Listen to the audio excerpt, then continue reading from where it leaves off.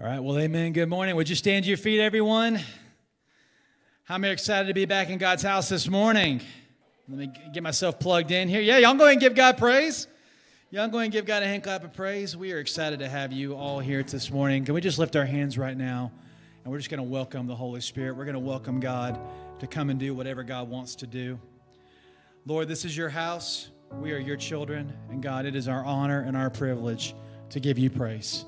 Lord, that we say that this is your house. We are your children, and it's an honor again to give you praise. And Lord, I'm going to keep saying that again until somebody says it with me. This is your house. This is your ch- we are your children, and it is an honor, God, to give you praise. There's joy in your house this morning, God. There's peace in your house this morning. There's praise in your house this morning, God, and we are thrilled and honored to be here. We're thrilled and honored to be in your presence. And Lord, we exalt you, we lift you up, we glorify you, we magnify your name. We say, God, have your way. Do whatever you want to do, Lord. Lord, we just bless you, God. We exalt you. We give you the glory and the honor and the praise that you so richly deserve. Lord, beside you, there is no other. You alone are God. So we give you everything we can this morning, God. We lay ourselves on the altar, Lord, and we say, Consume us with your fire, consume us with your presence. We want to leave here changed, never the same, Lord Jesus. Can I get somebody to give the Lord praise in this house? Can I give somebody to give the Lord honor in this house? For he is good.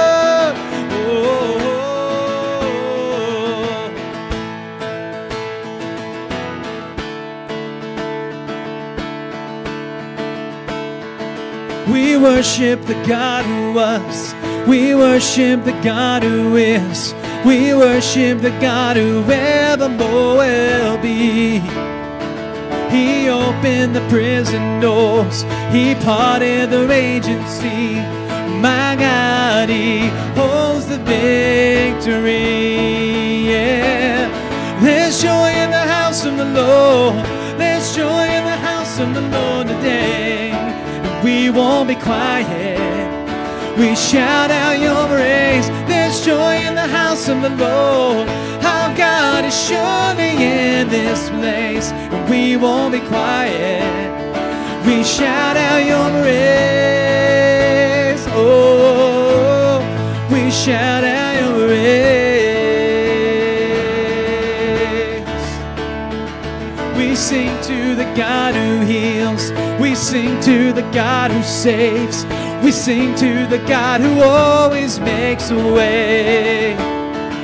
Cause he hung upon that cross, then he rose up from that grave.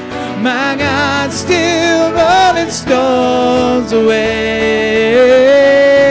There's joy in the house of the Lord.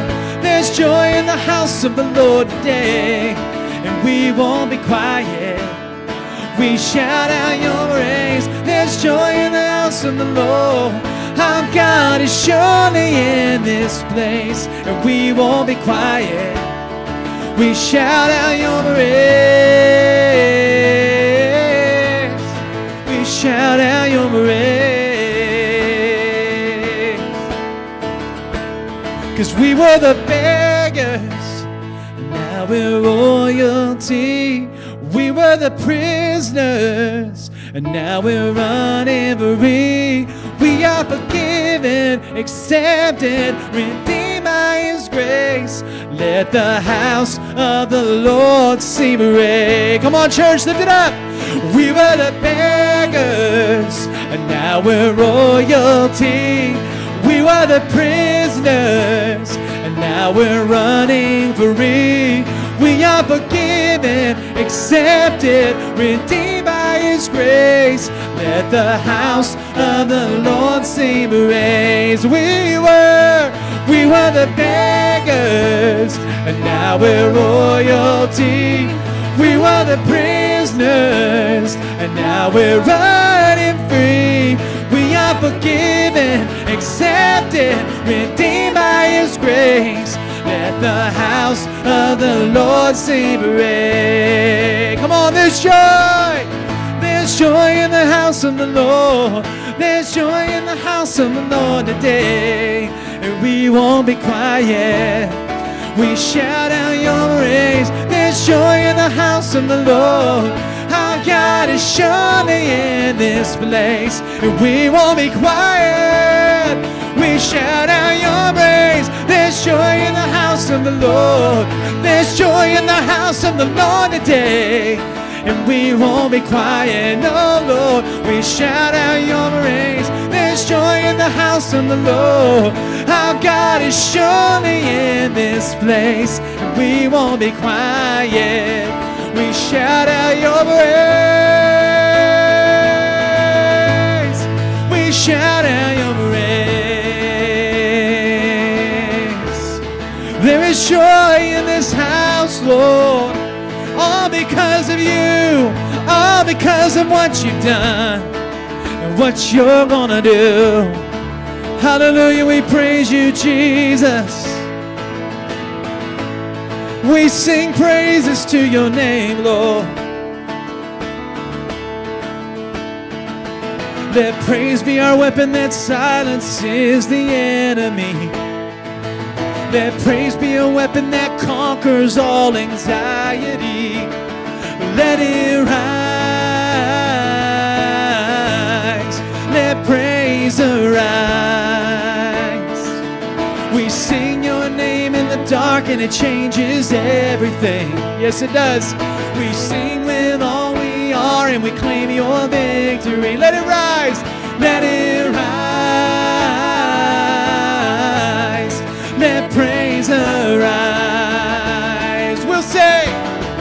we'll see you break down every wall. We'll watch the giants fall. Fear cannot survive when we praise you. The God of breakthroughs on our side. Forever lift him high. With all creation cry, God, we praise you. Oh, oh, oh, oh.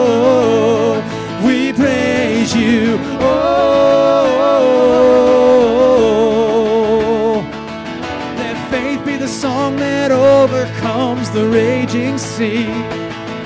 Let faith be the song that calms that storm inside of me. Let it rise.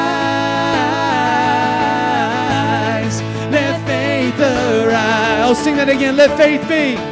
Let faith be the song that calms the storm and raging sea. Let faith be the song that calms that storm inside of me. Let it rise.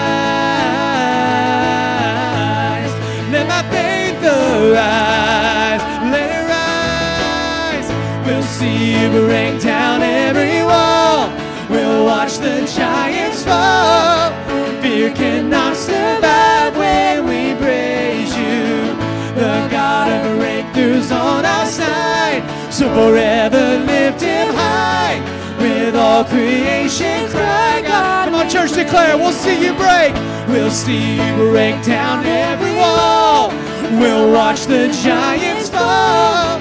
Fear cannot survive when we praise you. The God of breakthroughs on our side. Forever lift him high.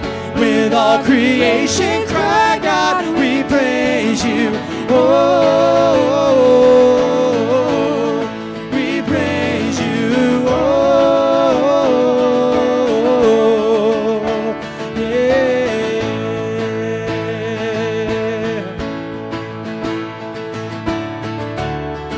How many believe your praise is a weapon this morning? How many believe the Bible says we overcome by the blood of the Lamb and also by the word of our testimony? What He's done for me, what He's doing in my life, and what I know He's going to do in my life. I've got endless reasons to praise Him. I've got endless reasons to lift Him up. I've got endless reasons to glorify Him. In every circumstance, I declare the name of Jesus. In every circumstance, I declare my God is still God.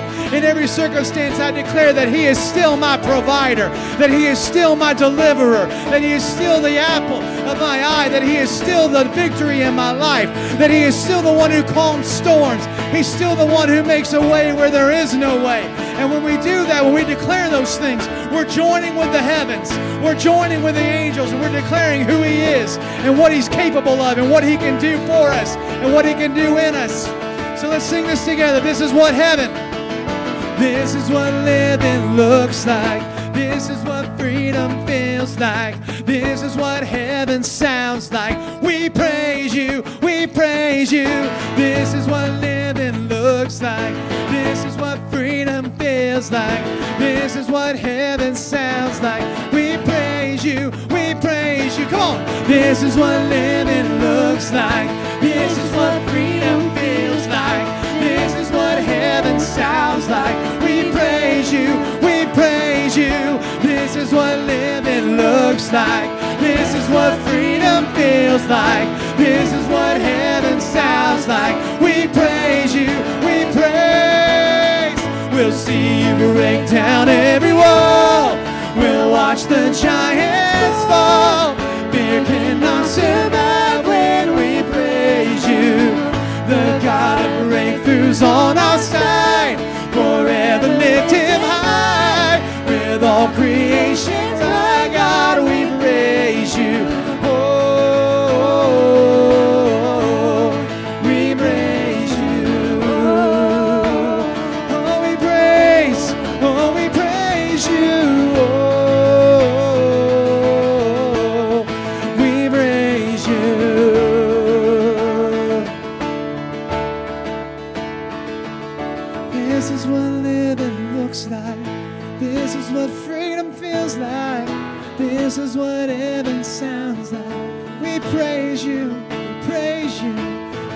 What living looks like. This is what freedom feels like. This is what heaven sounds like. We praise you, we praise you.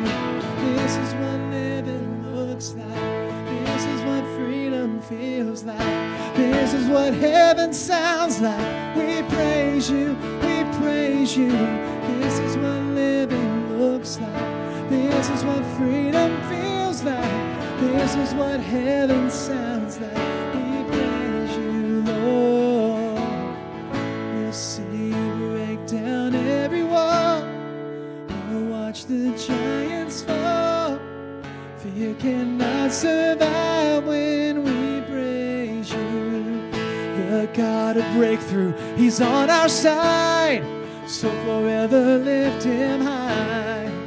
With all creation cry, praise you. Come on. We'll see you break down every wall. We'll watch the giants fall. Fear cannot survive when we praise you. The God of breakthroughs on our side. Forever lift him high. With all creation crying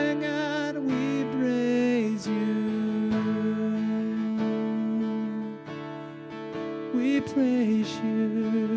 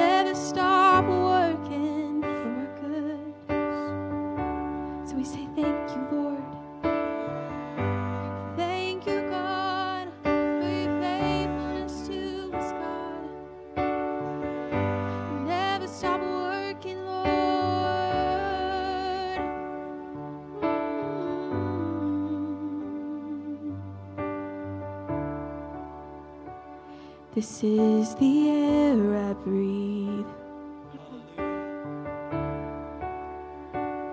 This is the air I breathe.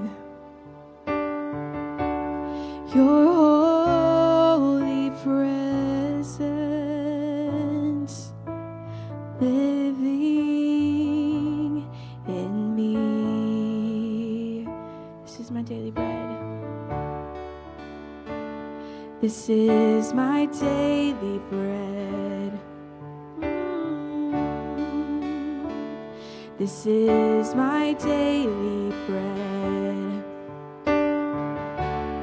Your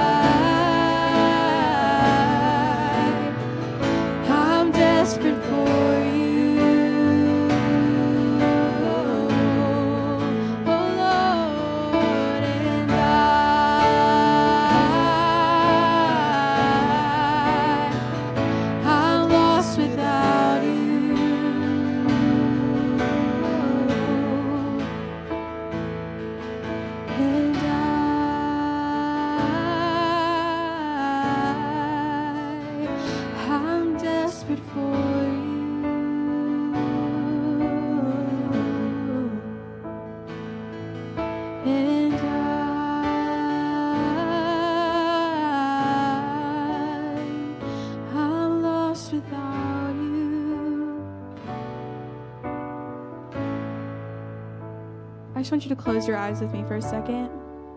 No one's looking around. You're able to really focus on the Lord. Imagine Him standing in front of you. And you have your ear with Him for a few moments. Would you tell Him that you're desperate for Him? Do you have that really in your heart that you really just long for His presence and you can't be without Him? So just picture Him forehead to forehead with you, and you just get to whisper something to Him. Let's whisper this together to the Lord, face to face. And I,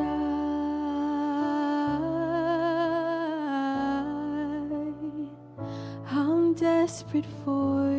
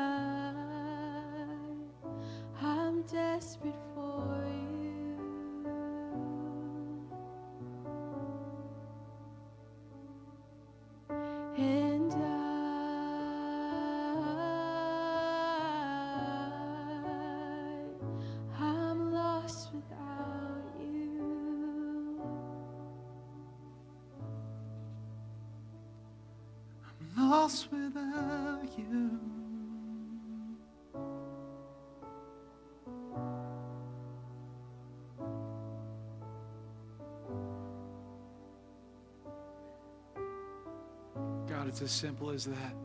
I'd be lost without you. There would be no hope for me. There would be no restoration for me. There'd be no joy in my life. There'd be no peace in my life. There'd be no true love in my life. I would be lost without you. This is what David meant when he prayed, Lord, restore to me the joy of my salvation. Don't ever let me get to a place again in my life where I forget without you I am nothing. Without you I am nothing.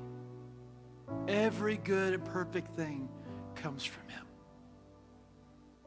Everything in my life I can hold claim to and say, This has been good to me or this is good for me.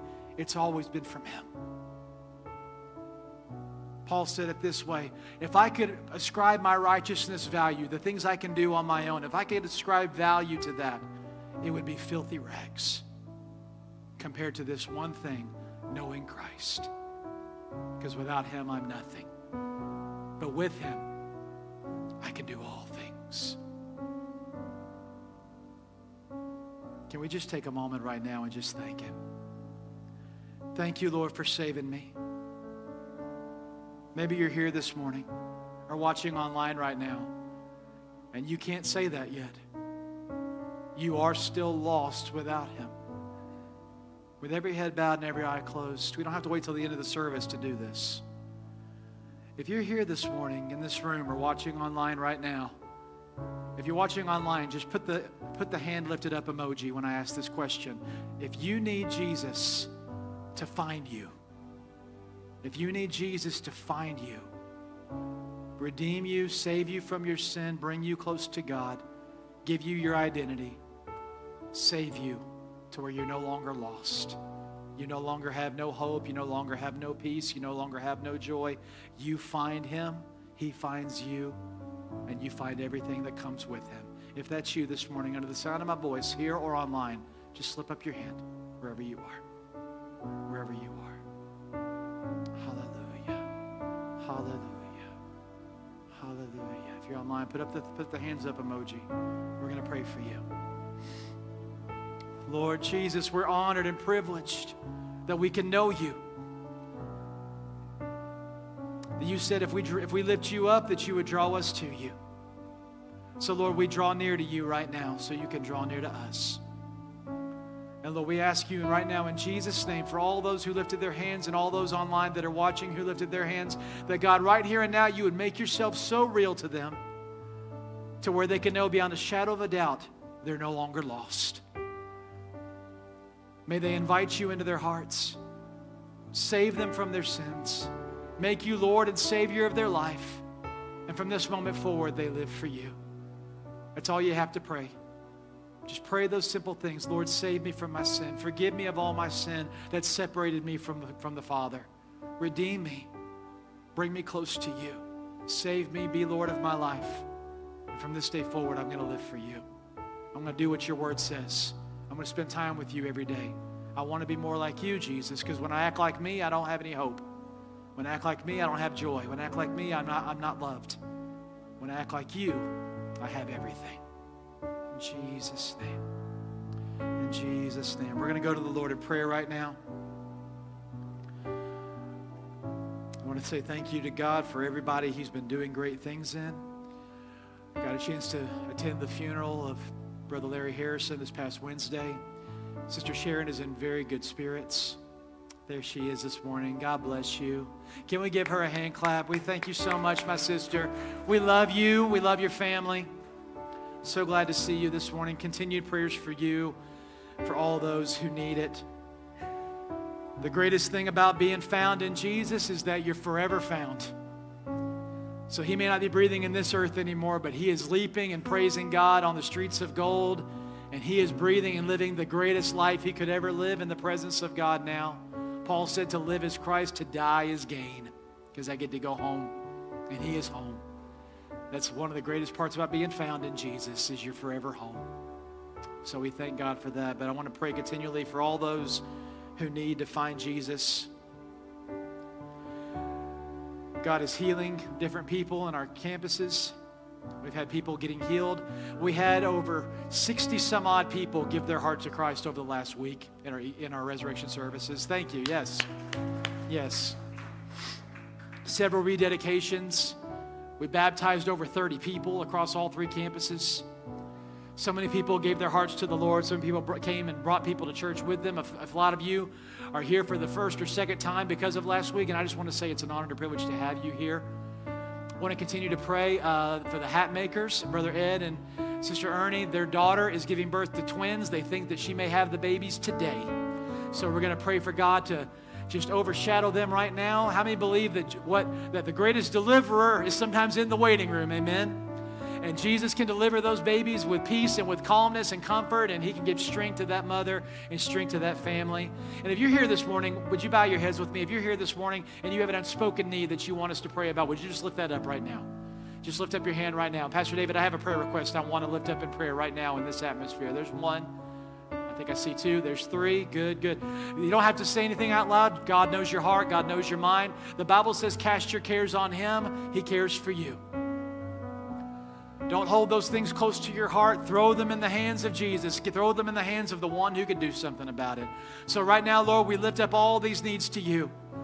Lord, we lift up everyone right now that gave their heart to Jesus last week. We pray right now, Lord, and those who gave their heart to Him this morning. I ask right now, Jesus, Lord, you would draw them so close to you that, Lord, the world can no longer claim them. The enemy can no longer claim them. They now belong to you. They're part of the family. So, Lord Jesus, I pray you would overshadow them with your love, your joy, and your peace.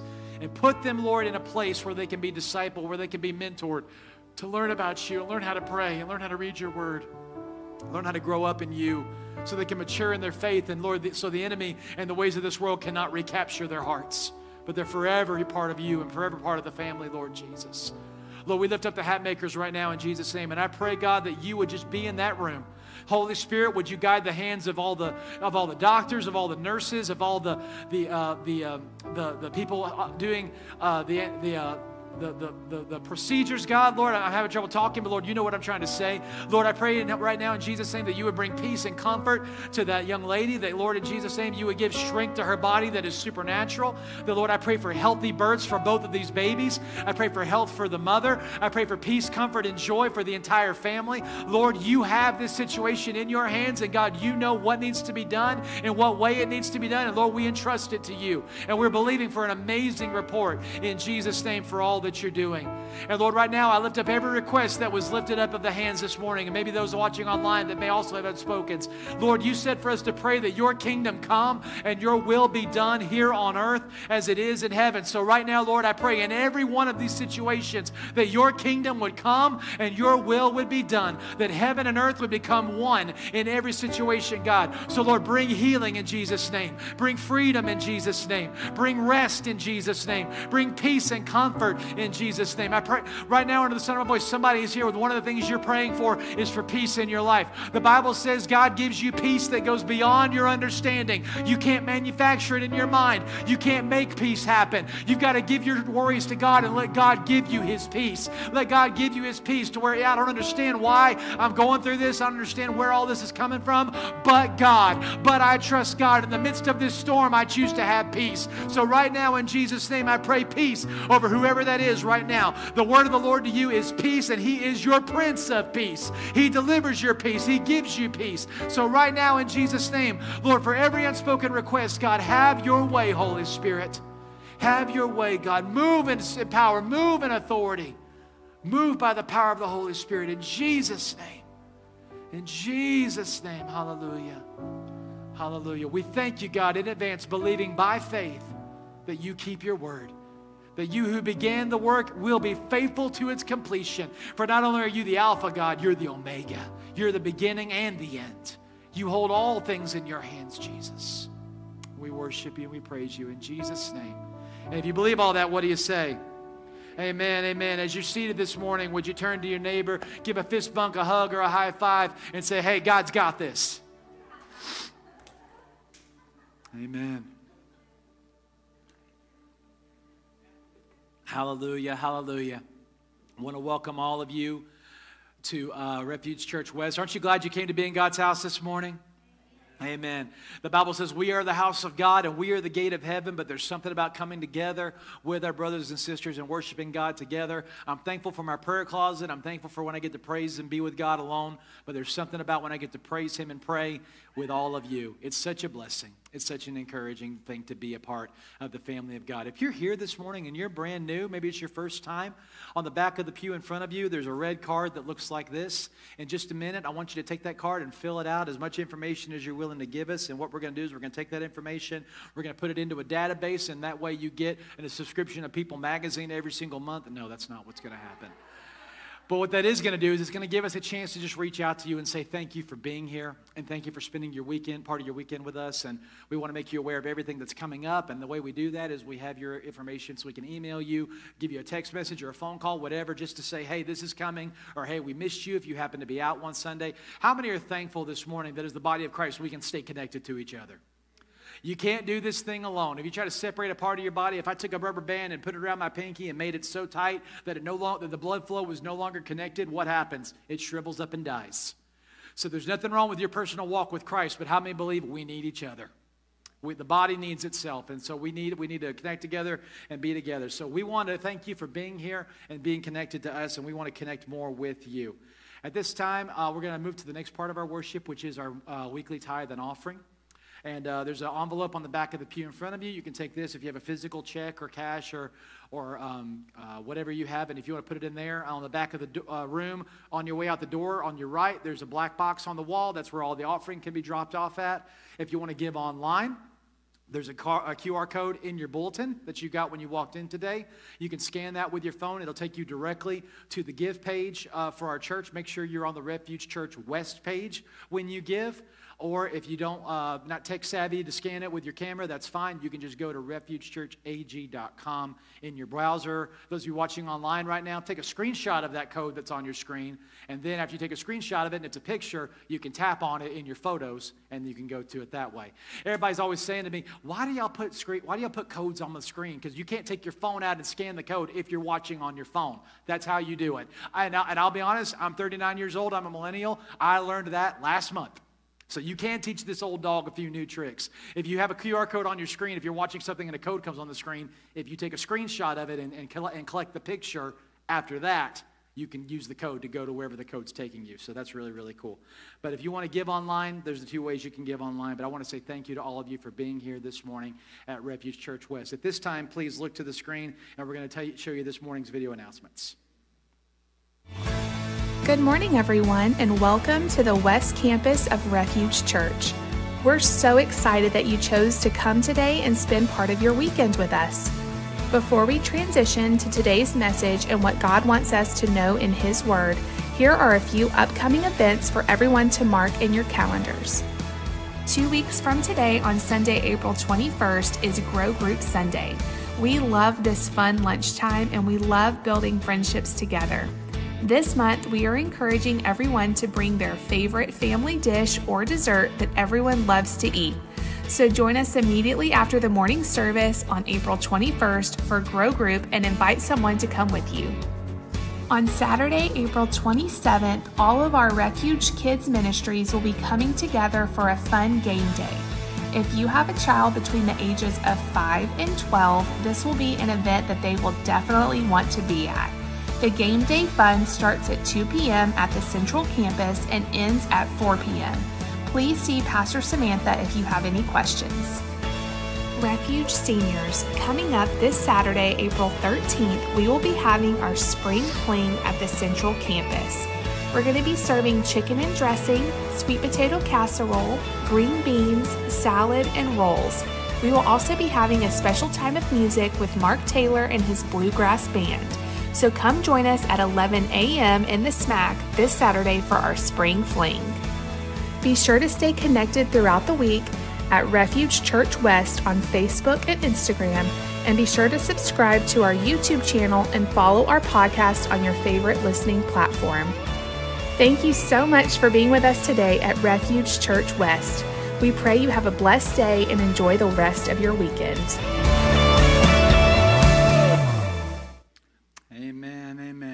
You so much to my beautiful wife. That's her voice. And now you know why I'm married to her because I get to listen to that every day. And nobody said, "Aw," but that's okay. I know we do love her, not as much as me, but y'all do love her. Uh, I'm just so thrilled again to have each and every one of you. A couple of quick announcements. We don't. I couldn't put all the videos in there or all the announcements in there because I don't want to overwhelm you guys. But there are two quick announcements. If you open your bulletin, you'll see them. Uh, the first is every Sunday we meet for prayer here at 8:30. So if you ever want to come early before church uh, to, ha- to meet us with prayer, uh, we encourage you to do so. Also, this coming Saturday will be our very first Saturday prayer. Now, normally we're going to do this at 8:30, but this coming Saturday we have to do it because of a schedule conflict. We have to do it at 7:30. So this is a litmus test to see how much you truly love God. If you're willing to get up and be here at 7:30, I'm just kidding. It is not mandatory. We do not, we're not going to make anybody, I'm not going to call each and every one of you at 6.15 and go, get out of bed, get out of bed, get out. I'm not going to do that. Funny story, uh, Brother Mark Lowry was always invited to, he's a comedian if you don't know who that is. He was always invited to prayer times, and he got tired of the text messages, and he got tired of the phone calls, so he named his bed the Word. So whenever people would call him, he'd go, I can't talk right now because I'm in the Word. Don't you dare do that. Don't you dare do that. But for him, it worked. But I just want to say if you, if you would love to join me in prayer this coming Saturday, I'm fully okay with being the only person here, but I want to encourage you to join us. There's something about when God's people pray together. If any of you missed this past Wednesday, we had our first soak service, which was going to happen every single first Wednesday of the month. And if you were here, you can attest we encountered God on, on Wednesday night. It was a powerful time of prayer and worship to God. And so when next month comes around and you see that soak graphic on the screen, please join us on Wednesday for that. We have Wednesday service this coming Wednesday as well. We're going to start a new series of teaching and going into the Word on Wednesday nights this coming uh, Wednesday.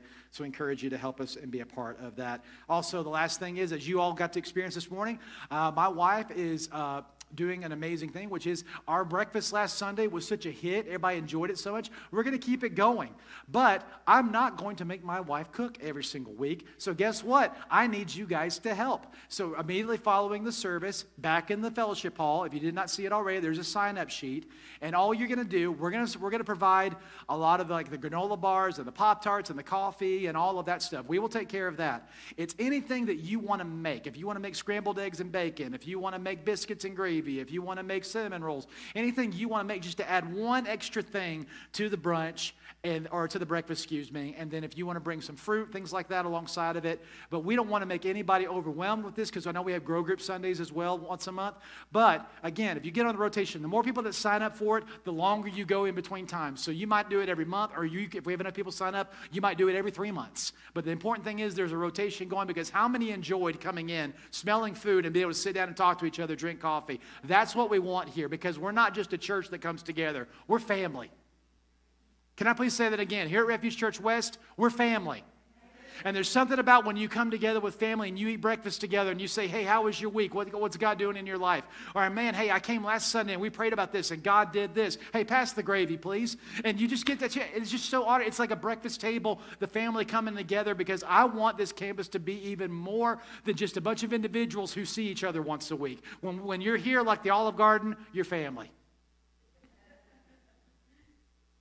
Because that's who we are. We're the family of God. We are the body of Christ. We, we all have our individual walks with God, but we're also connected and we are family. So please make sure you sign up if you want to be a part of that in the in the back. I appreciate you doing that. If you have your Bibles this morning, would you please go with me? And uh, we're going to tackle a couple of different uh, passages today. The first one we're going to go to is 1 Thessalonians 5. And then the second one we're going to go to is Jeremiah chapter 33. We're starting a new series today, and everybody say, Yay! Because for three months, y'all been in the Best Life Ever series. And how many, all right, just be honest with me. How many of you got at least something out of the last three months? How many? Okay, then praise God I obeyed. because otherwise, if nobody raised their hands, I've been like, oh, great. What am I going to do with this one? No, but I'm just so thankful that God has been doing that. The word best, you'll continue to hear that out of my mouth all year long because that is our word for this year, best. Because we do want what God has for us, we do want God's best for us. But this morning, we're going to start a new series for the month of April called No Limits. Everybody say, No Limits unlocking your full potential in Christ. How many believe that sometimes in this life we forget who we are? And sometimes walking through this life, we forget just how much God has placed inside of us. Just how much God wants to do in us, and all, and even more, how much God wants to do through us. You have so much potential inside of you. And the Lord wants to speak to you over the next four weeks and say, in certain areas of your life, God wants no limits. Everybody say, no limits. In my life, there should be no limits. In my life with Christ, there should be no limits. Now, real quick, I want to say there's some areas of our lives where you do need to put guards up and you do need to put limits on yourself. For me, it's food. If I could install a shocker on my refrigerator door, I would. That's only attuned to my hands because I don't want my kids to get shocked. But that every time I walk up to the fridge and it's not my window of eating, I'm reminded immediately get away from the fridge. Because food is a vice for me. I, and it's not that I'm addicted to it, I just love how food tastes. Is anybody else that way too? It's just simply the truth. When I get depressed, I don't usually turn to food. Matter of fact, when I get depressed, I usually don't eat. But I love the taste of food, and so sometimes I need to put a guard on myself when it comes to food. How about we need to put a guard on ourselves when it comes to our tempers? James said it this way Be quick to listen, slow to speak, slow to become angry. So we need to guard our tempers. How many of you understand we need to put guards on our eyes? Job said it this way I will put nothing evil before my eyes.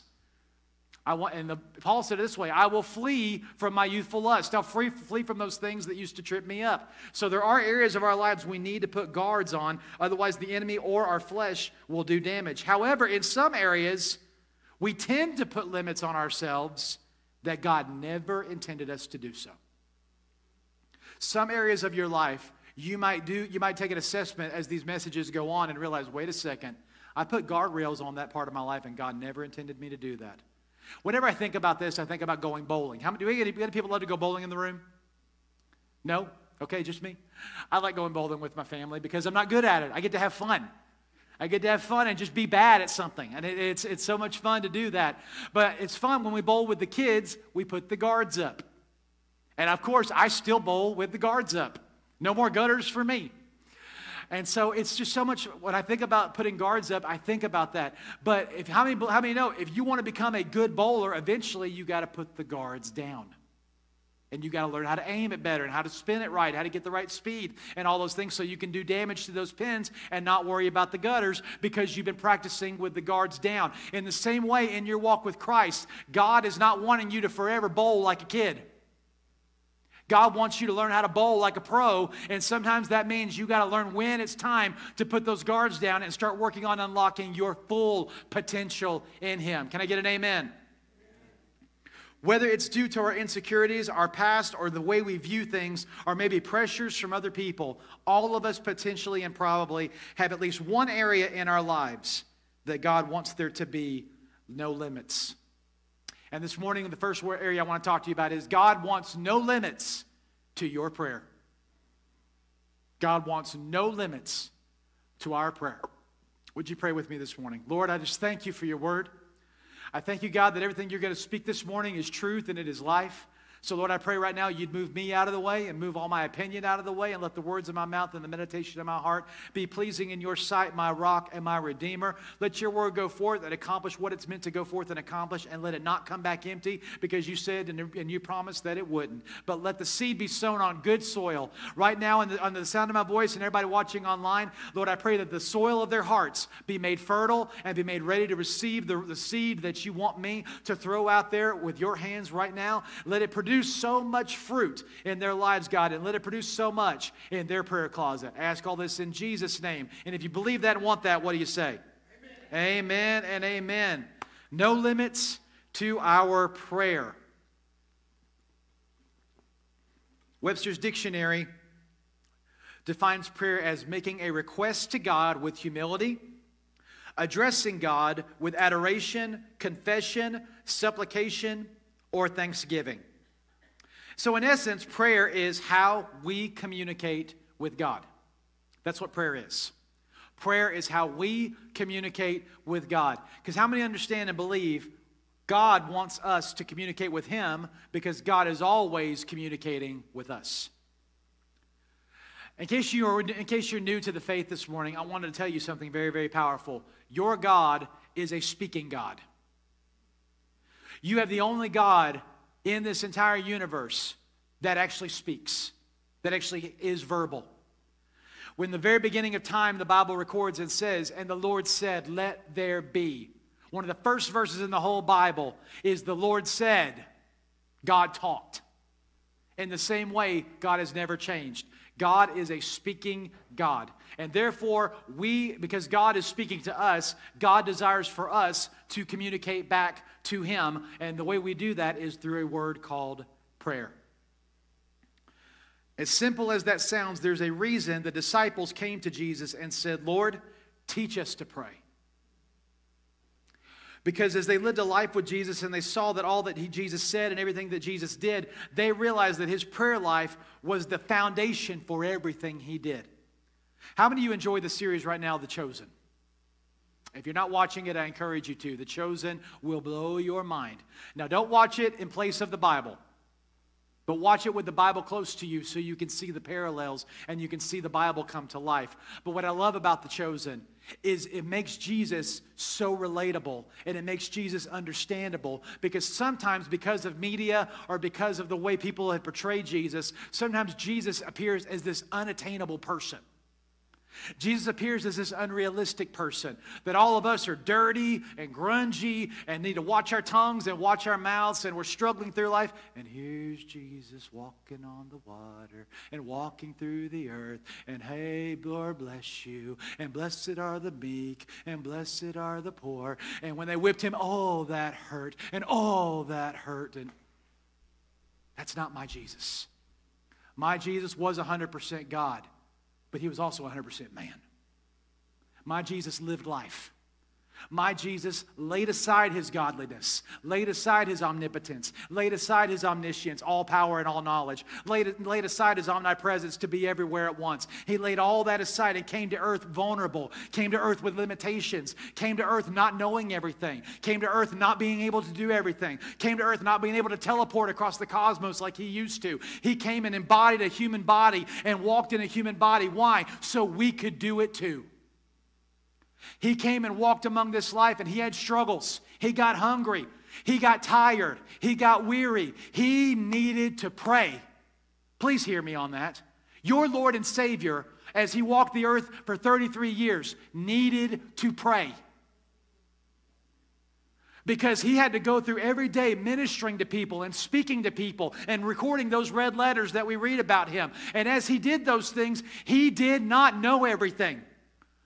Anytime Jesus asks a question in the scripture, a lot of times it's rhetorical, but a lot of times Jesus did not have an answer yet. Let me give you an example. When the woman with the issue of blood grabbed his garment and he, she was instantly healed, and he said, Who touched me? And the disciples say, Master, you're being crowded on all sides. Everyone touched you. He said, No, no, no. Someone touched me. Strength just left me. He doesn't ask that going, I know who that is. Hey, you back there, I see you. I got eyes right here. I see you. That's not what he did. He literally looked around and said, Who just touched me? Why? Because he didn't know. He needed God to reveal it. And thankfully, the woman spoke up and said, It was me. But that's who Jesus was. Very rarely in the scripture will you see where the Bible says, and Jesus knew what they were thinking. How did he know? Holy Spirit told him. Because the Bible says that Jesus said these words, I only do what the Father tells me to do. And I only do what the Father tells I only say what the Father tells me to say. And how does the Father communicate with the Son? The same way God communicates with us through the Holy Spirit. So Jesus said, Because I've done this, because I've lived this life, so can you. And Jesus said a lot of times would withdraw himself at night and he would pray for a while, or sometimes he would pray all night long. If you read the book of Luke, the Bible says Jesus withdrew and spent an entire night praying to God. And the next morning, he chose his 12. So, what does that tell me, Pastor? What, is that, what are you trying to say, Pastor David? Before Jesus made one of the biggest decisions of his life, he got before God and consulted God and said, God, who are the 12? All these people follow me. All these 70, these, these thousands, these hundreds, they follow me on a daily basis. I know who I think I need to put in the group. I know who I might want to put in the group. But God, who are the 12? And the Lord, he got along with God and he began to pray. And the Holy Spirit spoke to him and said, Simon, who you will call Peter. Pick his brother Andrew. Pick the two numbskulls, the sons of thunder, James and John. And he began praying, and the Lord spoke to him and said, These are your 12. Now, here's the mind blowing part Jesus also picked Judas, who would betray him. And I dare to say, and if you, if, you don't, if you don't want to ascribe to this theory, I completely understand. You are entitled to walk out your own salvation with God.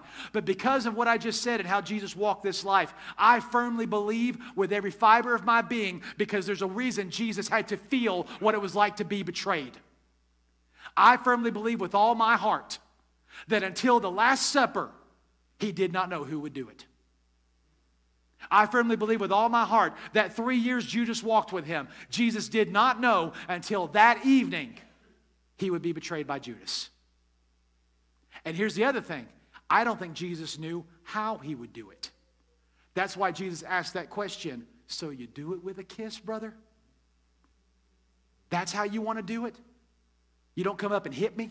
You don't come up and slap me. You don't come up and point at me. You come up and embrace me as a friend, kiss me on the cheek to tell them it's me.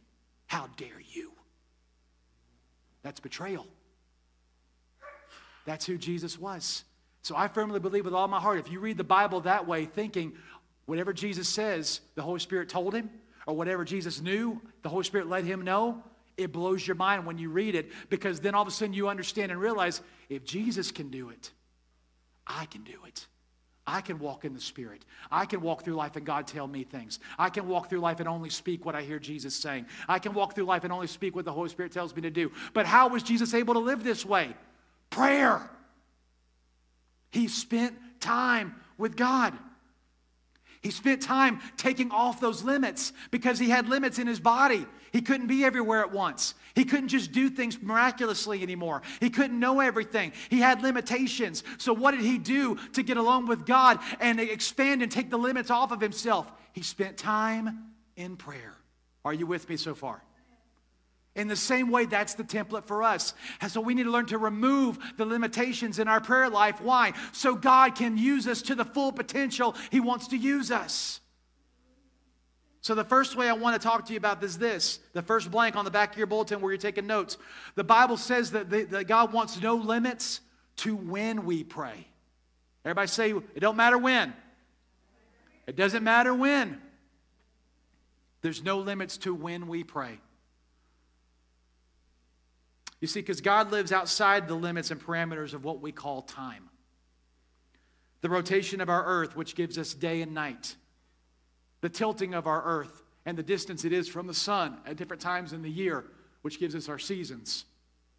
And the revolution of the earth all the way around the sun one time, which gives us what we call a year. God exists above all of this. God is not measured by time. God cannot be altered by time. And matter of fact, in the scripture, if you read it, God has stopped time more than once because God exists outside of time. Time is something we created to measure, time, to measure days, months, weeks, years, hours, minutes, seconds. We came up with time. God lives above that. God put it this way to Isaiah My ways are not your ways. My thoughts are higher than your thoughts. My ways are greater than your ways. What you call time, I exist above that because God is eternal. So God sees the end from the beginning in one glance. And I know that's hard for us to, to think about in our temporal, finite minds. But if you really think about it, in one glance of God's eyes, He sees the end from the beginning. God does not see chapters, God does not see beginning and endings. God sees all of time in one look, which is why sin breaks His heart so much, because in God's eyes, He still sees the cross. Because he, he there's, that wasn't yesterday to him. That's still happening. It's still present to him because God isn't measured or looks at things in time. God looks at all of it in one moment. So God doesn't use time restraints when it comes to prayer. Nor does God require us to use measurements of time when we measure our prayer life. And this is, a, this, if you are religious this morning, you're about to be very upset with me, but I just want to go ahead and put a disclaimer out there for everybody here and everybody watching online. At Refuge Church West, I am anti religion because my God is anti religion. Religion has no place in this house. Religion is what put Jesus on the cross. We don't come to church to be religious, we come to church to get to know Him. Are you with me today? Christianity is not a religion, it's a relationship, it's a church. It's a family. I don't govern my, I don't govern my family in religion. I govern my family on we get to know each other and we do life together. That's what God intended for us to do. God didn't send Jesus to establish a new religion. God sent Jesus to undo all the wrong ones. Are you here this morning? But God does not care the amount of time you pray. If you pray one minute in the morning before as you're getting ready, but man, you give God that whole minute and God speaks to you, then good, you gave God a minute. And guess what happens when you do that? You want to give him five more. And then you want to give him 10 more. And then you want to give him 30. And then you want to give him an hour. And the more time you spend with God and the more time you and God spend time together. How many of you ever been at someone's house that you just love spending time with them and you didn't want to go home? Everybody comes to my house, that's how everybody tells me they feel. But that's the way God is. The more time you spend with Him, the more time you want to spend with Him. So God isn't measuring how much time you spent with Him and said, well, if you just give me one more minute, you would have had a better day. That's not God. God doesn't judge you based on amount of time. God judges you, God judges you based on heart of time. Are you with me today? And Paul talks about this in 1 Thessalonians 5, 16 through 18. Here we go. Rejoice always Pray without ceasing. Give thanks in all circumstances. So, what is Paul saying here? It doesn't say give, rejoice one hour a day. It doesn't say pray this much a day. It doesn't say give thanks this time in your life. God removes all of that stuff and says always. So, whenever you need to rejoice, rejoice. Whenever you need to pray, pray. Whenever you need to give thanks, give thanks. I am not judging you or measuring you. There is no time card with me. You don't clock in and clock out with God. You're on an eternal walk with Him. Are you hearing me? You are always in his eye. You're always walking with him. You're always before him. So God doesn't all of a sudden go, okay, they clocked out. I'm going to turn my attention over to this person. No, the Bible says I'm the apple of his eye. He's always watching me. He's always moving with me. The Holy Spirit is not limited by space or by time. The Holy Spirit is omnipresent, which means He's everywhere. So as the Holy Spirit walks with you every day in your life, He also walks with me every day in my life, and He walks with Sister, with Sister Amber every day in her life, and He walks with my son Nate every day in his life, and my wife Jessica, and our kids in the back. He's not limited. There's seven billion plus people on this planet, and the Holy Spirit said, easy peasy, I can walk with all of you because I'm not limited. So you don't clock in and clock out, and Holy Spirit goes, "Oh, great! I can only handle 6.5 billion today. I'm glad they're taking giving me a break." That's not the way He works. He's always working. He's always moving. He's always talking. He's always wanting more and more time with you. So that's why it says always. It is possible to live a life that is in continuous communication with God. And the more you practice this lifestyle, the more natural it will be to you. How many understand the Christian life is not something you just get it on day one? I had to learn how to stop saying those things. I had to learn how to put those addictions down. I had to learn how to not read this, but read this. I had to learn how to stop being with these people and start being with these people. I had to learn how to, I can't go to that place anymore. I've got to start being around these kind of places now. You have to grow and mature because it's a life. You are born into the kingdom of God when you accept Jesus. What does that mean? You're a baby. So I need to be fed. I need to be, I need to be protected. I need to be encouraged. We make a bad habit in the church and we, we ask you to get saved, and then all of a sudden we, we, we, we assume that a baby can take care of itself in the spirit, and that's not true.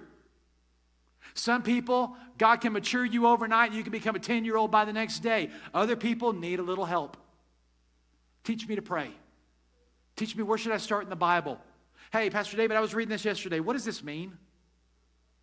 Hey, Pastor David, is it important to be at church every single Sunday? What if I have to work? And people ask you these questions, and if you get all religious, well, of course you should be at church every Sunday. Quit your job. Of course you should read the entire New Testament by next Sunday. There'll be a quiz on this after service. That's why I hate religion, because religion is unrealistic, and religion is not what God uses to gauge life. God uses relationship to gauge life. Are you doing better today with me than you were yesterday? If you're taking one more step further, if you're getting a little bit older in your faith, if the things that used to bother you don't bother you anymore, if the things you used to be having as vices in your life are no longer vices in your life, if the way you used to talk, you don't talk that way anymore, if the way you used to treat people, you don't treat that you don't treat people that way anymore. Are you growing in Christ a little bit more every day? If you are, then the Bible says that's maturity, that's growing, and that's what God wants. Are you hearing me today? And everybody grows at different places and at different speeds. And that's why Paul said, work out your salvation with fear and trembling before God. Because here's the, the common denominator, no matter where we're at in our faith, is we're all answering to the same God. And we're all answering to the same Jesus. So we all have areas of our life that we're going to tremble in. And we all have areas of our life that we need to have the fear of the Lord, which is called the beginning of wisdom. A long time ago, there was a monk named Brother Lawrence, and he wrote a book called The Practice of the Presence of God. I encourage all of you to get at this book. It's not very big. He just wrote it while he was in his time in the monastery. And the Lord spoke to him one day and said, I want you to live your life every day as if I'm in the room with you because I am. And so what he did was he literally would try his best to imagine the physical body of Jesus was in the room with him at all times. So much so that when he would eat meals, he would make another plate for Jesus sitting next to him. So much so that when he was reading, he would talk to the chair next to him as if he and Jesus were talking. And of course, all of his brothers in the monastery thought this dude has been here too long. He's putting too much salt in his fish. He's nuts. But over time, he began to realize I'm not thinking about those things anymore. I'm not talking like I used to talk. The, the complaining I used to do, I'm not complaining as much anymore. Why? Because I'm beginning to realize I've formed a habit, I've formed a new lifestyle. And now, no matter where I am, I don't have to make that plate of food anymore for him because I just know he's here. And I don't have to, I don't have to talk to him like, like I'm crazy. I can just, in my mind or in my spirit, talk to him like he's here. And after a while, he just had a lifestyle completely transformed to where everywhere he was, he practiced the presence of God. And it got to the point where his prayer life had changed so dramatically and his life changed so dramatically that the other monks in the monastery began asking, What did you do? How do you know this scripture better this way? How did you learn how to pray this way? And he said, I practiced. For all of you that are athletes in this room, you don't walk on the field and you're Michael Jordan the first day, or you're Bo Jackson the first day, or you're Wayne Gretzky on the ice the first day. You've got to practice. You got to get better. No matter how good you are naturally gifted, if you never practice and improve your skills, you're going to get passed by or you're going to get cut. You have to practice and get better. In the same way with the Christian life, we have to improve day by day by day. And if you stumble and fall, pray for forgiveness, get back up, and keep going forward. For though the righteous man falls seven times, he gets back up every time. Are you with me today? So I encourage you, go grab the book and read it. Number two, the Bible says there's no limits to how we pray. Everybody say, How I pray. So not there's no limits to when I'm supposed to pray. I can pray at all times. And there's no limits to how I pray. I've used the analogy before that when it comes to praying to God, when it comes to when, before we move to the how, real quick, praying with God is like a cell phone. I don't have a constant conversation on my cell phone every day because that would be very rude to the world around me. So, in essence, I don't get up and ring God's number, and from the moment I wake up to the moment I go back to sleep, I'm on the phone all day long. Because if someone does this in a waiting room, or waiting on their food, or waiting on their car to get done, I cannot stand people that have loud phone calls. I can't stand it. How many in this room are with me? Uh, we're in a doctor's waiting room, and you're waiting on the doctor to come back and get you. Well, then what we're going to do is I'm going to take the car in and get it detailed, and then I got to get an oil change, and then I got to pick up the kids. And I'm like, we're people in this room too. I can't stand it. It's obnoxious. It's inconsiderate. And the same is true with God. You can be so heavenly minded, you're no earthly good. So, what does it mean to pray without ceasing, to pray continually? What that means is I'm going to stay in an area where I always have reception to Him. Some of you, your mind just blew. Good. Uh, every time you take your phone out now, I want you to think about this. I'm going to stay in an area of my life, in my spirit, where anytime God rings me or texts me, got it. Got it. Because anytime I need to call or text Him, He gets me. He gets me. He's perfect. He never drops a call. Aren't you thankful? I know sometimes it may feel like he's not answering the phone, but he sees the call. He just wants to he wants you to trust him until he calls back. But stay in an area where you always get his call. Stay in an area where you always get his text message. There's nothing more terrifying than to be stranded in a place with no reception. And how many know in this life that's terrifying with God. I've been in places in my life where I can't hear him. I've been in places in my life where I let the wrong things come in and they choke out the volume and they choke out the noise. And now I hear all the other voices and I can't hear his. And that's a scary place to be. We need to stay in a place of reception with God where we always hear him and we always have reception to hear him when he speaks. Are you with me this morning? But no limits to how we pray. Everyone, when you hear the word prayer, you probably have in your mind the voice of a person praying that maybe you learned from or you've heard them pray many, many times. And when you hear the word prayer, uh, you hear that person praying. I hear my papa praying. Me and Brother Joe were talking this morning about my papa's podcast that I'm doing, where I'm, I'm, I'm, taking all of his old sermons from when he was a pastor and I'm converting them into digital. And just a shameless plug, isn't he wonderful? On YouTube, on Facebook, on Instagram, not Instagram, on uh, YouTube, on Spotify, Apple Podcasts, anywhere you get podcasts or YouTube, uh, you go listen to Isn't He Wonderful? My Papa Henry Melton's messages. Today's message is It's a Wonderful Life. Talks about a life with Christ being the wonderful life. It's a really, really good message. I enjoyed listening to that one. But whenever I hear the word prayer, I think about the way my Papa would pray. I think about the way my dad would pray, my mom would pray. And I think about people in my life that would pray that would make me flat out laugh. There was an older gentleman in our church growing up. I love this brother. He was so sweet. He was so encouraging. He was such a good person. He loved Jesus so much. But man, when he prayed, I wanted to leave the room.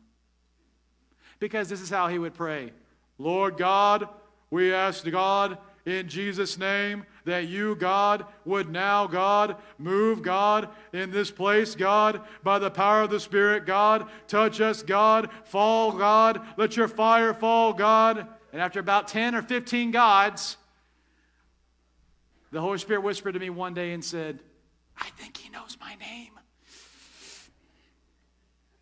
And it cracked me up. But it was a habit of prayer that he had formed, and there was nothing wrong with it. That's the way he communicated with God. But I want to say this morning some of you this morning, when you hear the word prayer, you think of things like that. You think of this is what prayer must be, and this is how I'm supposed to pray. So, that being said, there are also false prayer stereotypes. This is how we're not supposed to pray. You don't have to pray in the King James. You can pray in the everyday communication. When God speaks to me, I don't hear, now thou will, wilt go to this place, and you will goest as quickly, as hastily as you can. The moment God talks to me like that, I'm going to go see a doctor. Because I know for a, for a moment there, that's not Him, and I'm hearing voices in my head. God doesn't speak to me that way. You know how God talks to me? The way I'm talking to you right now. And I hope God speaks to you the same way. God speaks through His Word in whatever translation you have. But when it comes to just everyday vernacular, you don't have to put on airs when you come to God.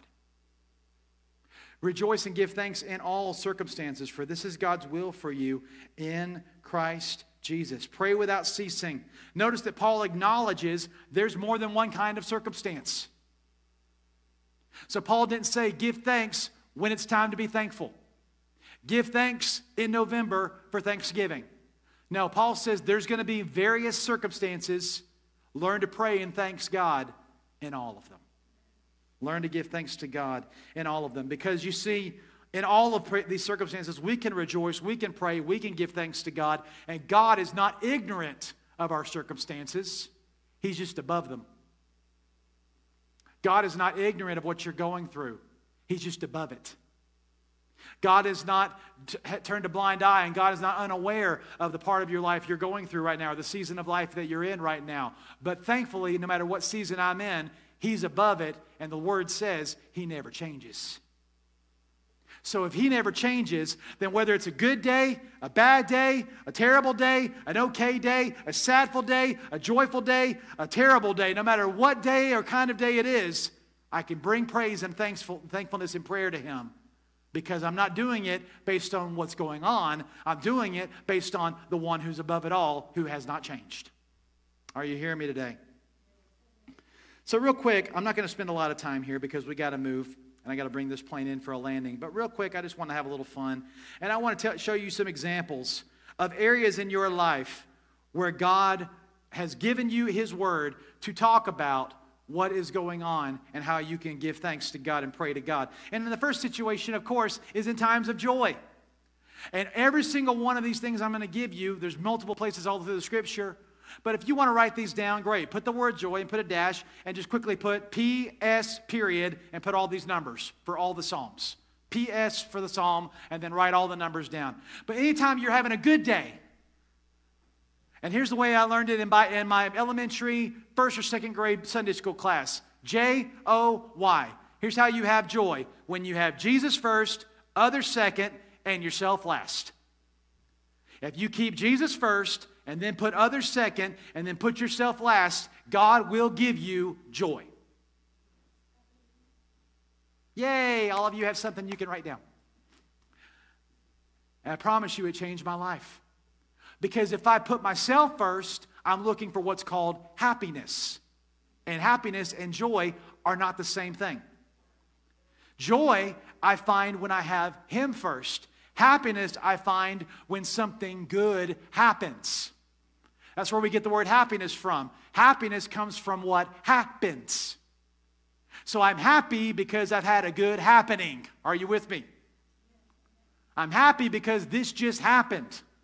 But how many know sometimes bad things happen, even to Christians? You don't believe me? Look at the lives of the 12 disciples. All but one died a martyr's death, and they tried to kill John twice.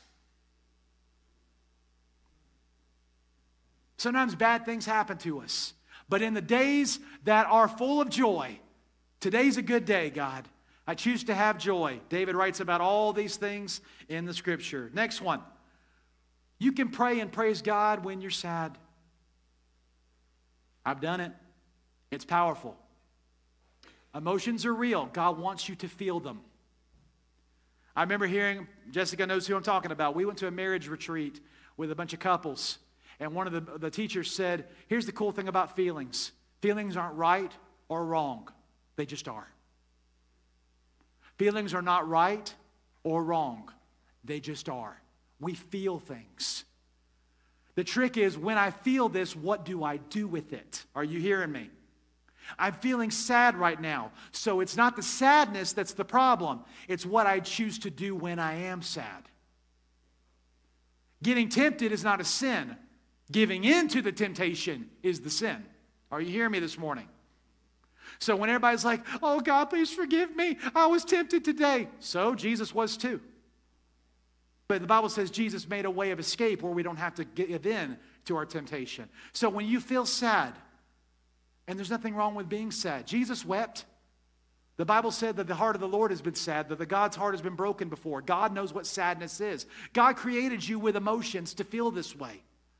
So, in the midst of them, you can overcome them and live for Him in the midst of them. So, feel your sadness, but then in the midst of that sadness, go, Yet will I praise Him. Yet will I still rejoice in the Lord always. And again, I say rejoice. David put it this way in one of these Psalms Why are you downcast, O my soul? Why so disquieted within me? Put your hope in God, for I will yet trust him, my hope and my salvation and my God. So David acknowledged his sadness and said, But why are you downcast? It's okay to be sad and not be downcast. So, why are you downcast? Why are you so disquieted? Put your hope in God and praise Him. And when David did that, the sadness was there, but the victory was achieved in the midst of it. Are you hearing me this morning? Next one fear. And yes, for those of you that are watching online, these are all the characters from the Inside Out movie. The sequel's coming out soon, and my kids and I and my wife cannot wait to see it because that movie is so cute. We love it. I saw so much gospel in it because it talks about dealing with life. And in the midst of life, you are supposed to feel these emotions. And sometimes we get afraid. But did you know the Bible says 365 times, one for each day of the year, do not be afraid. So fear will happen, but don't give in to it. There's fear, and then there's being afraid. So there's sad, and then there's giving in to the sadness and letting it turn into depression. Are you hearing me this morning? There's, there's, okay, fear is trying to come in, but quickly, wait, God hasn't given me that spirit of fear. He's given me power, love, and a sound mind. So I choose, as, as God said to Joshua, be strong and be courageous. Do not be afraid, for the Lord your God is with you wherever you go. So I'm not going to give in to the fear. I'm going to feel it, but I'm not going to give in to it. I will choose not to be afraid because I know who my help is. I lift my eyes to the hills from whence my help comes from. My help comes from the Lord, the maker of heaven and earth. The earth is the Lord's and the fullness thereof. So this little thing compared to him is nothing. Are you hearing me this morning? Let's move quickly. Anger. There's a verse that says, Be angry, but sin not. So it's okay to feel angry. Jesus got angry. I promise you, when Jesus sat down and made a whip and went into the temple and flipped over the tables, he didn't do it like this. He wasn't happy about it, he was angry. But he chose to not give in to the anger, and he said, It is written, this house is to be a house of prayer. You've turned it into a den of thieves. So he was righteous in his anger, and he did not let his anger consume him. And he didn't give in to his temper. And David writes all through the Psalms about being angry, and they're comical, by the way. They are comical. But in that moment, he was angry. Lord, my enemies have formed against me. Do you not see them? Lord, my enemies are coming against me. Would you take their heads off their shoulders? I mean, it's, it's comical. It's great. But guess what? Okay, I'm about to set somebody free here right now. Are you ready to be set free? How many ready to be set free? It's okay to get alone with God. Nobody else around you. Please make sure nobody else is around you. But it's okay to get alone before God and go, God, I can't stand this. This is not right. This is unfair. This is just wrong. I'm watching the media today. They are blind. There's no truth. All I hear is agenda. These people, I've been witnessing to them for years and years and years, and still they mock me and they won't come to church and they still ridicule my faith. Where are you doing it? Alone with Him. Your, your, your spouse can't handle that. Your kids can't handle that. Your coworkers can't handle that. He can. He'll take it. He'll take it. He'll take it all. Because then at the end of all these Psalms, here's what David said But blessed be your name. Now, Lord, I got that out of my system. Now, blessed be your name. Now, I thank you. Now, I praise you. Give me grace to go through another day. Help me to be, help, forgive me, Lord, for the times I've stepped over the line or said things I shouldn't have said. God, help me to have a good attitude. Help me to pray for those who persecute me. Help me to pray for those who I disagree with. Help me to pray for the president. Help me to pray for the politicians. Help me to pray for the vice president. If you aren't praying for them, you can't criticize them. Are you with me today? If you aren't praying for your enemies, you can't love them. We have to show love and grace through prayer. Are you with me? Finally, real quick, there's some days that are just disgusting. You got laid off. Someone in your family got sick. My son Nate has been going through this stomach stuff for about a, a week now, so when y'all see Nate, just kind of take a step back for a second. But sometimes we have just disgusting days where that baby just keeps pooping. Or when someone throws up all over your brand new rug or your brand new piece of furniture. And sometimes days are just disgusting, and same is true in life. Sometimes you're doing all the right things, and sometimes somebody just throws up on your life. And sometimes things are just disgusting. And things are just wrong. And things are just unfair. And oh, why do I have to be in this? Why do I have to go through this? In the midst of it, still, he's worthy of praise. Because how many know Jesus went through some disgusting things too? Not very pleasant to get your beard plucked out or get a crown of thorns jammed on your head or get your back whipped. He went through some disgusting things. Jesus went through some terrible, terrible seasons in his life. Before the cross, he went through some hard seasons. In the midst of all those, he got up before God and he led his prayers out to God and let God help him navigate through these things. Finally, as I come in here for a landing this morning, we can't focus on our circumstances. If we do, then our prayer life will be choked out by them. Jesus put it this way some seed fell upon the ground, and, and the thorns came up and choked it out. And this represents those who let the worries, the circumstances of this life crowd out my word in their hearts. We can't allow our circumstances to choke out his word in our lives. We, need to, we can't lean on our emotions or our own mental capacity or our own past experiences. If we put our focus in God in the middle of our circumstances, we can find a place of trust and hope, and, uh, and that allows us to see our circumstances from His perspective, from who, knowing who He is. I love this story as about, I'm about to close. Aubrey, would you come? There was a house where this family lived. All of a sudden, this little boy in the upstairs bedroom woke up to see that his door and his hallway were in flames. But thankfully, his dad had taught him the fire drill, so he opened up the window to his room and he got out and he was on the edge of his roof. But he was so scared because, of course, he's 10 feet off the ground. And the flames were underneath him, so the flames were coming up over the lip of the roof. And all of a sudden, he heard his dad's voice saying, Son, you got to jump. Son, you got to jump. I'll catch you. You got to jump. And the son, crying hysterically, said, But daddy, I don't see you. And the father said to his son, It's okay, because I see you. So jump. And of course, he jumped into his father's arms. Sometimes faith is doing what you don't see. In our circumstances, a lot of us would cower in fear because the flames and the heat and the circumstances are stronger than the God who's calling to us. Come to me. Don't sit in your circumstances and let them overwhelm you. Come to me. Come to me. I can handle the circumstances.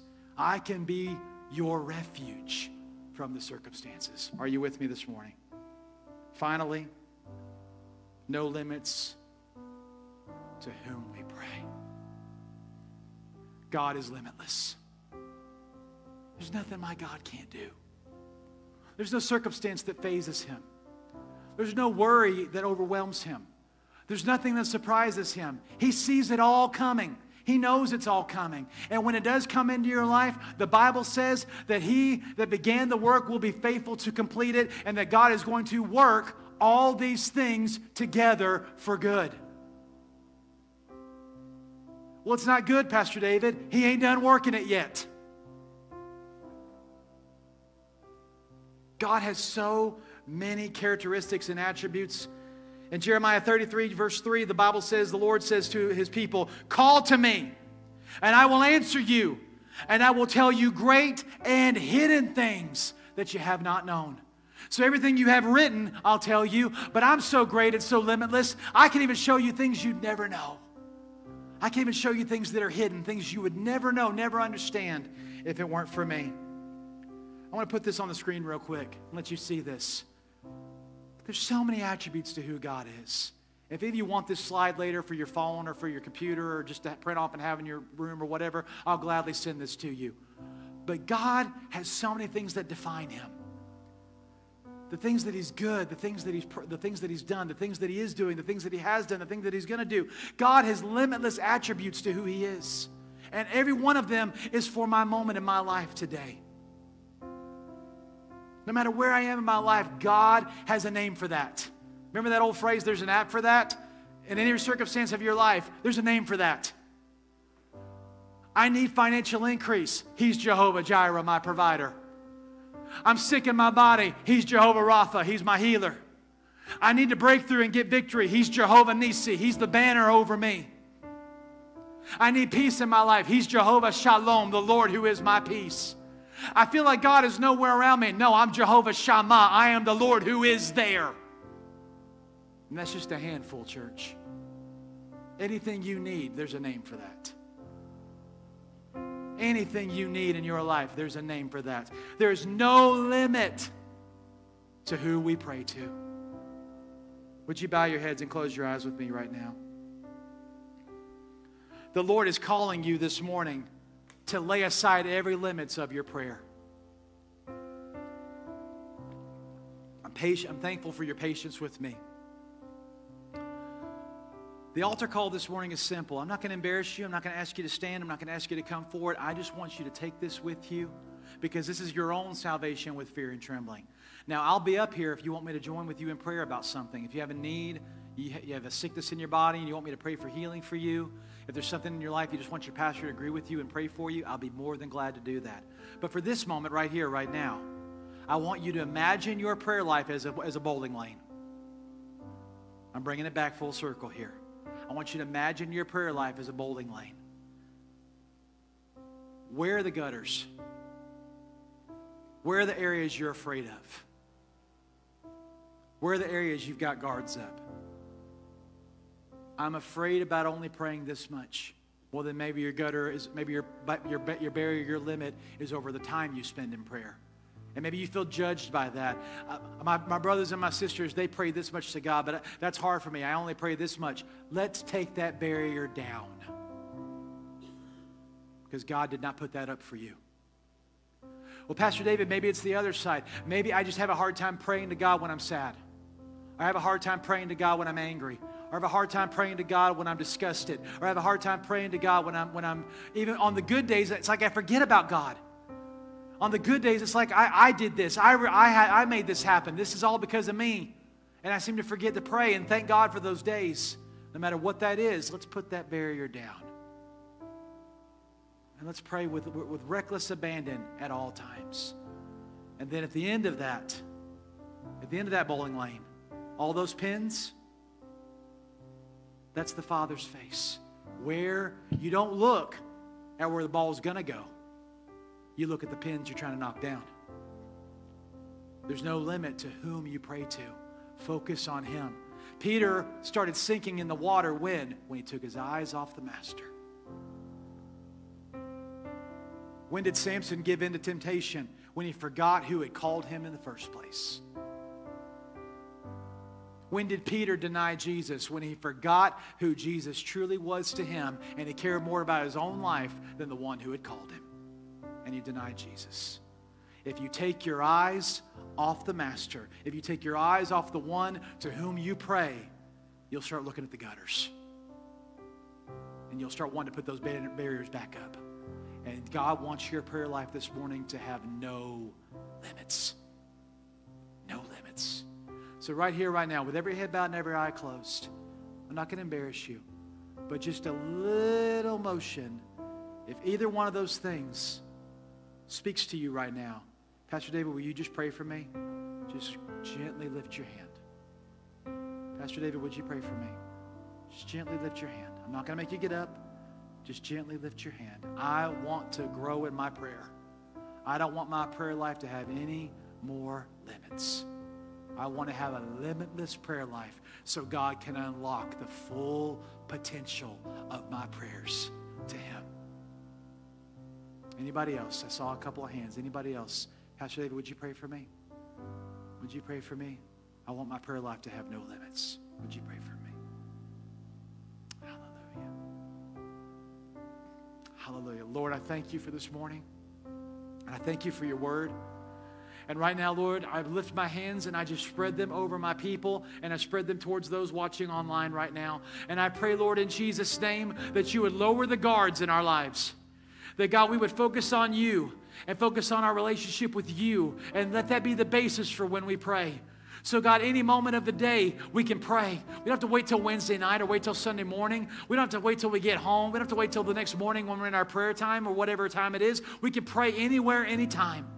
Anywhere, anytime, we can be in an attitude and reception of prayer without ceasing before you, as Paul told us to in 1 Thessalonians. And Lord, I pray right now in Jesus' name that, Lord, on the best days, on the worst days, on the days they're afraid, on the days that we're sad, on the days that we're joyful, on the days we're disgusted, on the days we may be angry, that, Lord, in the midst of those moments, we let those feelings be, but then we immediately turn to you.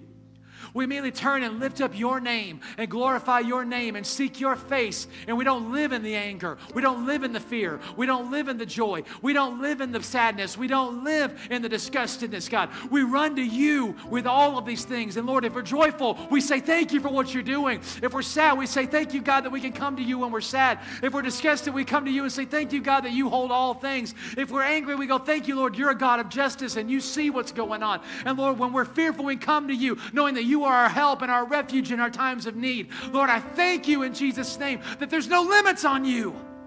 I'm thankful, Lord, in Jesus' name. There's no time and no place and no season we can't run to you in prayer. And so, Lord, right now, everyone under the sound of my voice and everybody watching online, I pray that that becomes so clear to them and awaken them, God, that, Lord, their daily life is no longer measured by how many minutes they pray, but it's now measured by how closer they get to you when they pray. In Jesus' name, grow us in our prayer life. Those of us that are baptized in the Holy Spirit and have a prayer language, I pray, Lord, you would develop that. Grow the vocabulary of that unknown precious language. Let us begin to pray in the Spirit as often as we can, God. Lord, when we're angry, we turn and pray in the Spirit. When we're wounded, we pray in the Spirit. When we're afraid, we pray in the Spirit. We pray in that unknown language that not even the enemy knows, because then that's a weapon we can use to overcome what we're feeling in Jesus' name. Hallelujah, hallelujah. Hallelujah, hallelujah. Thank you, Lord. Thank you, Lord. In Jesus' name. We've got to get ready to dismiss here in just a second, but if anybody here needs prayer for anything, for anything at all, sickness, worry, anxiety, and you want to meet me up here for prayer, I'm going to be up here as soon as we dismiss, and I want you to come and join me. I'll be more than happy to agree with you and just pray over you a blessing or pray over you whatever you need. But in this moment, Jessica, if you wouldn't mind, go into the prayer playlist and, um, you know what? Actually, let me do it from here. Let me do it from here. Let me do it from here. Just watch the volume on this because there's something we need to do before we dismiss. In Jesus' name. Hallelujah. Hallelujah. Hallelujah. Hallelujah. Thank you, Lord. Thank you, Lord. Thank you, So, in a minute before we dismiss and we give room to pray for everyone needs to pray, Christy, would you please bring the gift forward? Come here, Miss Aubrey. Today's a bittersweet day. For those of you that may not know, Miss Aubrey Decker here is about to graduate from ASU in a month. And she's about to embark in this brand new season of her life. And she's going to be going into different areas of, of career, different areas of brand building, different areas of things that God has laid on her heart to start doing. And as a result of that, she can only juggle so many balls and do so many plates and have so many things happening in her life at one time. And so to completely focus on where God's taking her, um, one of the things that she's going to have to give up is doing our music here. When I first got here last year, I immediately walked in and felt such a calmness and a peace of the Spirit of God in this place that only comes from people that know how to worship and know how to pray. And she's a huge part of that. I told her this this morning before you guys got here that I am such a huge fan of hers because she loves the Lord and because God has a deep plan for her life. Music will always be a part of it in some way, shape, or form, but God's called her to bigger things and doing great things in her and through her. So, Aubrey, we, we just want to give you this as a sign of appreciation. She's pretty on the outside, but her heart is beautiful like these flowers on the inside. And God has such a sweet spirit in her. And God's got big plans for her life. So today will be her last day here.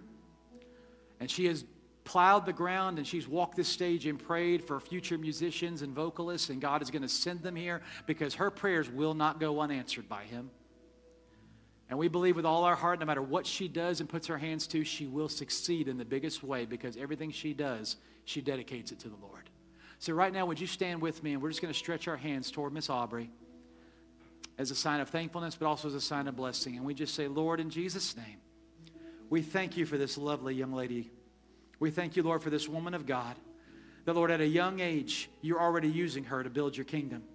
And Lord, I pray right now in Jesus' name that, Lord, as she goes out to accomplish the things you're calling her to do, that God, you would go with her in the strongest way possible. Lord, I pray she is a disruptor in the kingdom. Lord, I pray she goes into areas where darkness reigns and she brings the light, she brings disruption. Lord, whatever she puts her hands to, whether it's in social media, whether it's in brand building, whether it's in teaching, or whether it's in music ministry, God, but whatever she lays her hands to that you're calling her to put her hands on, that God, you would use her to bring forth the light of God, to bring forth the power of God into that circumstance. And Lord, we are thankful, God, for all the work she's done here. We're thankful, God, for all the things she's done in bringing her to this place and bringing our campus to this place. Lord, we thank, we thank you, God, for the seeds that have been sown, the works that have been done. And we pray, God, every seed that's been planted and everything that's been done, every word that's been said, Lord, that you would bring it to fulfillment, that the harvest would come from her labors, God, that Jesus, she has been sowing and sowing. And Lord, we're believing, God, for signs and wonders and souls to come and musicians to come and vocals to come and take people to come, God, from all the things that she's prayed and all the things that she's done. And Lord, wherever she goes, may your blessing go with her. May your presence go with her.